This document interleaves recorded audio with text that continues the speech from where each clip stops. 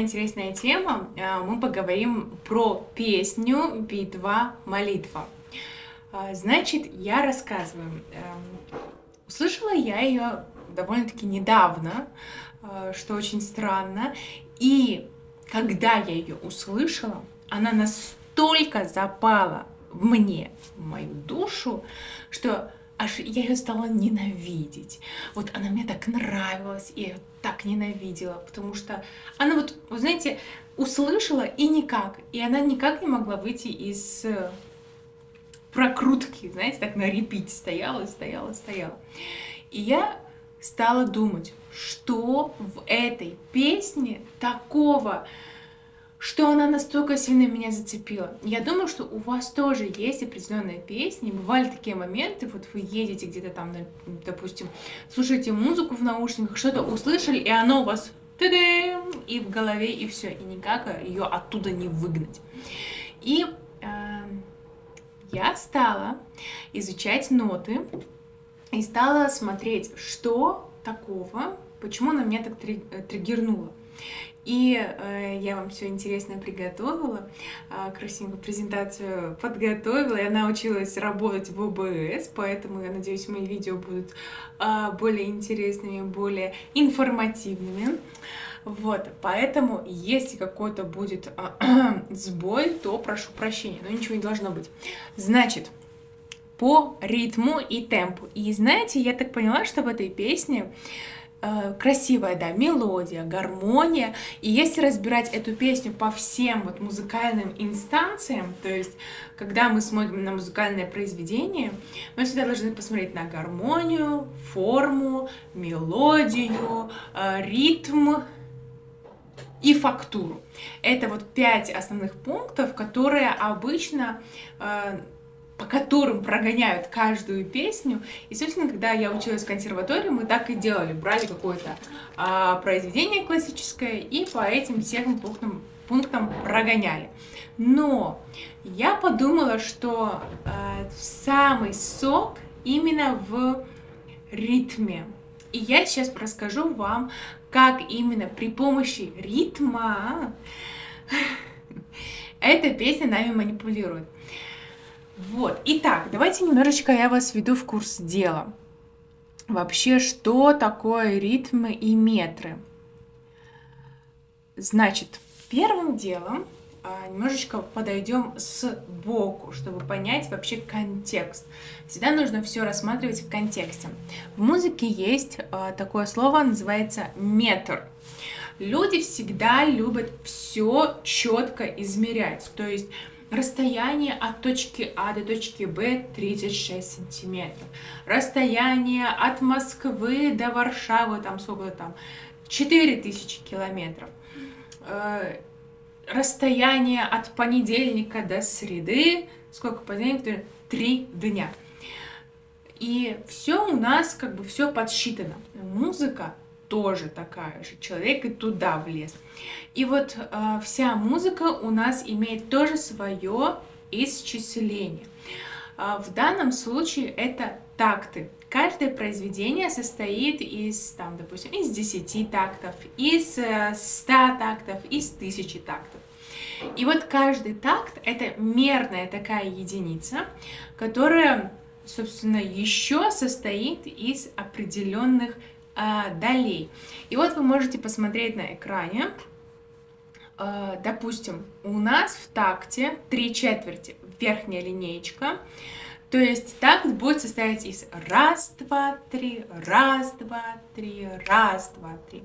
Если четыре четверти, то такт будет такой. Раз, два, три, четыре, раз, два, три, четыре, раз, два, три, четыре.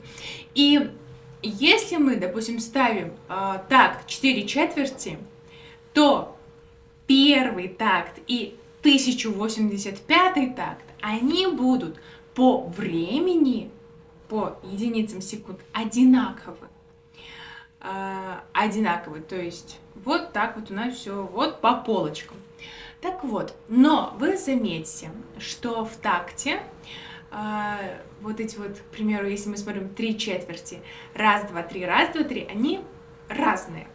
И первая доля, то есть раз, она всегда будет такой опорной. Вот я ее и красненьким прям выделила.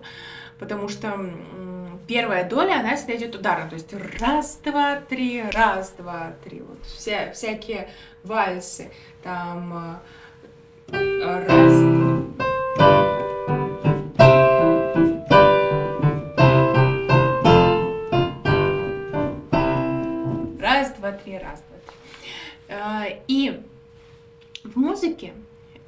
такой интересный момент.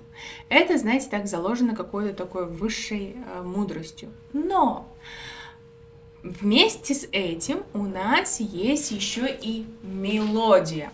А вот мелодия это такая, э, так сказать, дамочка, которая иногда соответствует метру, а иногда строится по своим каким-то законам.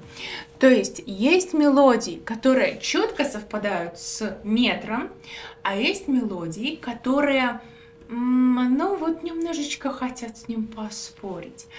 И от этого у нас появляются три вида э, три вида совпадений мелодии и метра. То есть в мелодии тоже есть какие-то свои опорные моменты, и вот как они совпадают. Допустим, четкое совпадение, то есть, допустим, когда у нас есть четкий ритм. А, какие это песни? Вот сейчас я вам сыграю, и вы сразу же поймете, о чем я имею, а, что я имею в виду. Ну, допустим.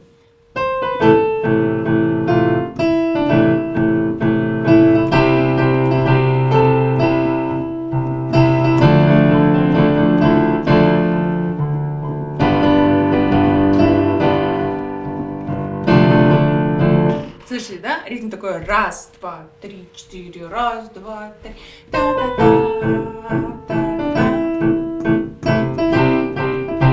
И вот, собственно, под такие, такую музыку всегда хочется, так, знаете, немножечко э, маршировать. Или, допустим...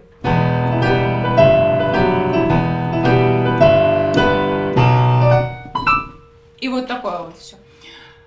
Это у нас четкое совпадение. Дальше.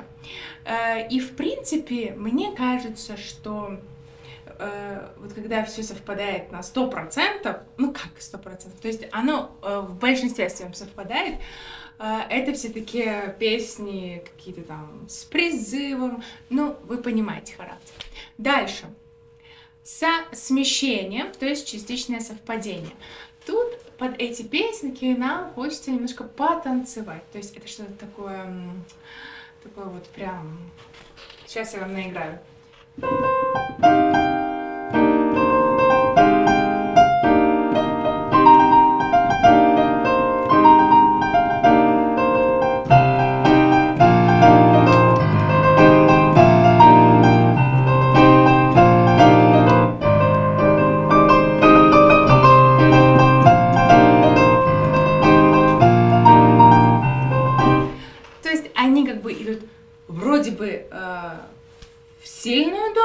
Все равно немножечко вот что-то такое, хопа.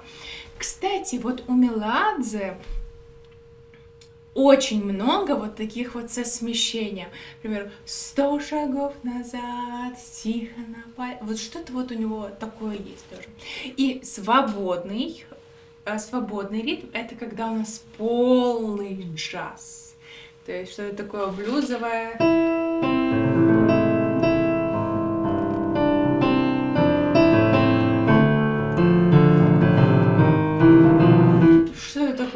Очень прям, знаете, Луи Армстронг, вот сюда, вот, вот все вот такое. Там, допустим, БСМ мучо, тара та тара вот это вот все сюда. Так вот, это такая музыка нас расслабляет, и мы так, знаете, хорошо. Э, это какая-то, может быть, возможно, ресторанная музыка. Ну, ладно, так вот, давайте перейдем к нашей песне. Как же тут э, поставлен ритм? Именно ритмические, э, ритмические последовательности. Давайте посмотрим на вступление. Э, начало. Вот это вот. Левая рука рука, то есть аккомпанемент у нас будет написано в басовом ключе. Э, тут э, будет собран весь, собственно, аккомпанемент. Правая рука — это мелодия, так будет более понятно. И посмотрите, левая рука у нее совпадают, то есть сильные моменты совпадают с той идеальной, давайте я снова вернусь к той первой идеальной в нашей схеме. То есть первая доля, она всегда ударная. В левой руке, в аккомпанементе мы видим, да, первая, все идеально. Хорошо, давайте посмотрим, что у нас в правой руке. А в правой руке у нас идет смещение. То есть как будто бы, видите, сначала все правильно. Как будто бы правая рука немножко пораньше, она, знаете, так запыхалась, бежала и постоянно как будто бы спешит. Вот.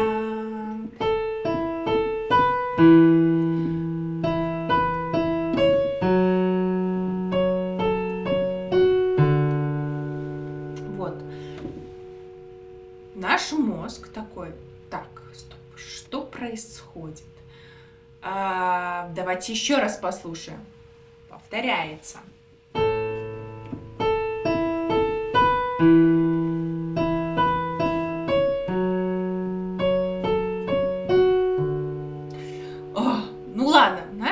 вроде въехал, вроде бы он понял. Так, хорошо. Итак, схема такая. Мелодия немножечко раньше вступает, а аккомпанемент чуть позже. Ну ладно, хорошо, я понял. Я понял. Ха. И тут начинается куплет. А в куплете у нас правая рука как будто бы, если раньше она опаздывала, то теперь она слишком поздно вступает. Вот смотрите.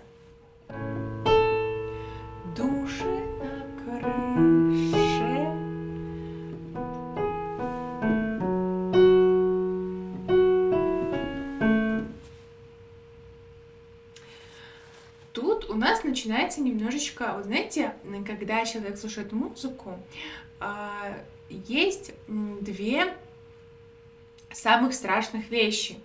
Это полная предсказуемость и полная неизвестность. Забавно звучит, да? И э, когда мы привыкли к вступлению, правая рука чуть-чуть, э, так сказать, э, спешит, а теперь правая опаздывает. И мы пытаемся словить вот эту вот закономерность, что там должно быть дальше. Дальше повторяется вот это вот.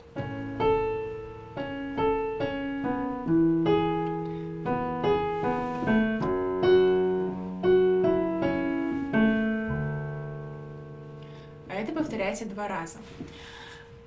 Угу. Наш, э, мы воспринимаем это, пытаемся э, переключиться на гармонию, переключиться на слова, и вот все равно у нас в душе где-то теплится надежда. Вот, вот, вот сейчас, сейчас у нас что-то будет. Вот что дальше? Интрига. Дальше.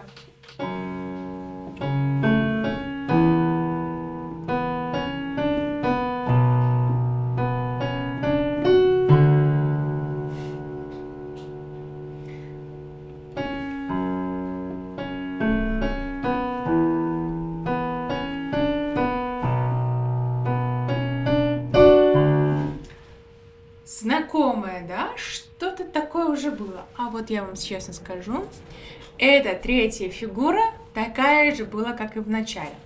А, помните, да, когда мы там в детстве проходили тест на IQ?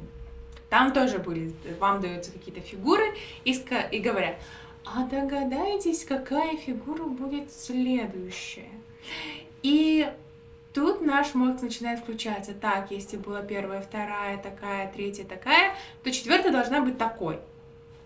И это все идет у нас подсознательно. То есть я вам сейчас это все рассказываю, вот знаете, как э, с научной точки зрения. Но это все происходит у нас подсознательно. Мы не понимаем вот эти вот ударные, безударные, метры. В принципе, вы это все знаете. Просто вы не знаете, как это называется в э, профессиональном пространстве, что ли. И, но все равно эм, мы ждем, когда же будет то, когда мы можем, сможем расслабиться, потому что первое,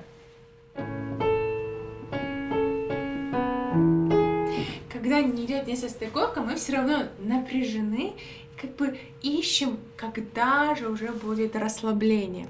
И хитрецы, они нам дают это расслабление. И знаете, как они нам дают это расслабление? Они нам дают это в припеве. В припеве, когда у нас начинается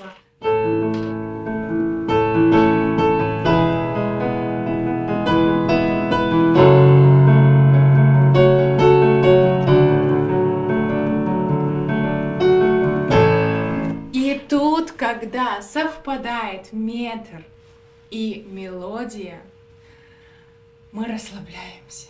И мы такие, да,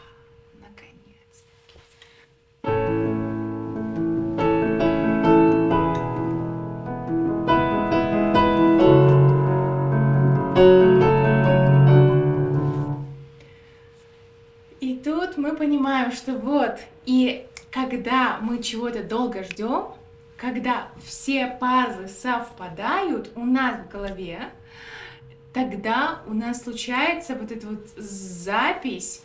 Вот, знаете, есть эмоциональный интеллект.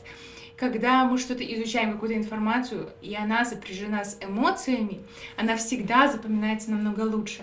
И вот когда вот сделан такой фокус с ритмом, это у нас записывается больше, и это у нас проживается, и мы запоминаем эту мелодию лучше.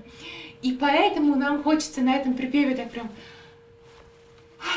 та та та та та И а, сколько лет прошло, когда эту песню записали? Я не знаю, лет 10 точно. Надо будет перепроверить. Напишите, пожалуйста, мне в комментариях, когда была написана эта песня, потому что что-то я... Мне кажется, что 10 лет назад может больше.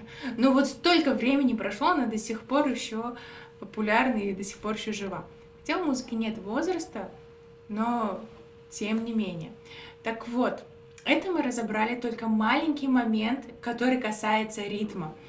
Еще можно сказать о мелодии, потому что мелодия очень похожа на, э, на куплет.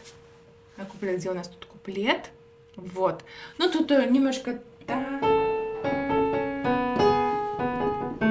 куплет...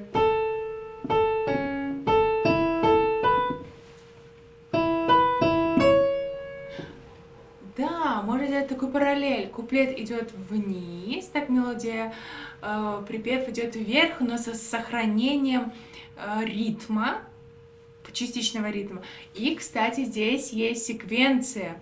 А мы все знаем о том, что э, человечество и особенно классическая музыка любит секвенции, потому что секвенция это кусочек неизвестного и кусочек известного. И вообще вся музыка, она так и строится.